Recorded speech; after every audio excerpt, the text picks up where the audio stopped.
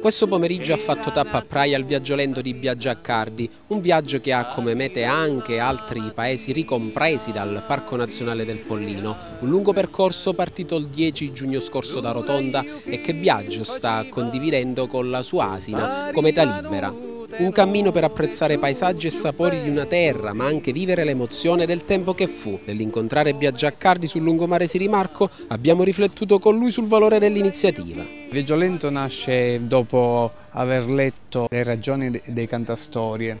E questo libro che parlava di, di un poeta cantastorie siciliano che si incamminava eh, col suo carretto, eh, con la sua prole a seguito eh, per tutta la Sicilia, la Calabria e addirittura la Puglia. Insomma questa visione romantica mi ha ispirato Viaggio Lento. Non è solo questa eh, l'unica motivazione, è dare un consiglio, un monito, quello di rallentare, di tirare un freno a questo progresso che non si sa dove sta andando. Una crisi economica e dei valori, quella che oggi vive la nostra società, che impone di guardare verso altri scenari e Viaggio Lento potrebbe divenire un evento per promuovere la terra di Calabria.